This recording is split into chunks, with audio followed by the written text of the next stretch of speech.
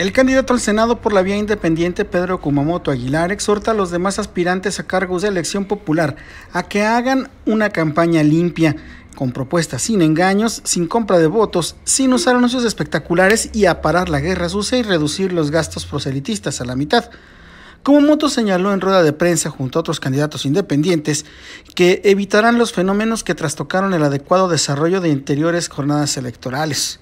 El aspirante ciudadano dijo que él no llegará al tope de gastos propuesto por el Instituto Nacional Electoral, que es de 28 millones de pesos, ya que los demás postulados por el organismo y él no rebasarán los 14 millones de pesos entre todos. Para Noticel.mx, Juan Carlos Huerta Vázquez.